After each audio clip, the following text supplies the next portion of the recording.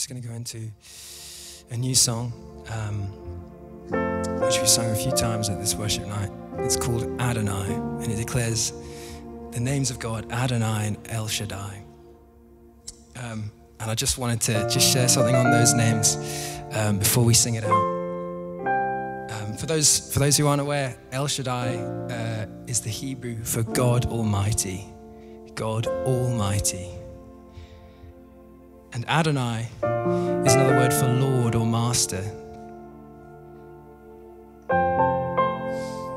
And uh, one of the verses that uses these names uh, in the Bible is Genesis 17, verse 1. It uses El Shaddai, and this is God speaking to Abraham. It says this I am El Shaddai. Walk before me and be blameless. I am El Shaddai.